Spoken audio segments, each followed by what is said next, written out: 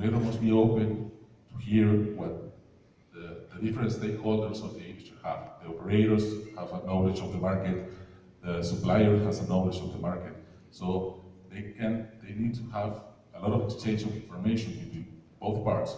So they create a good regulation, which is a third point uh, that I think is, from the lab, lab's perspective, is really important.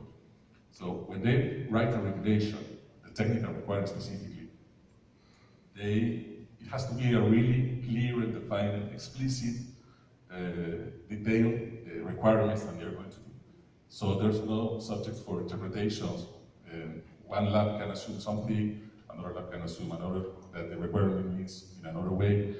Even the systems are different, right? So it has to be a clear and defined and a really clear uh, requirement that they have to comply. So this is the first thing,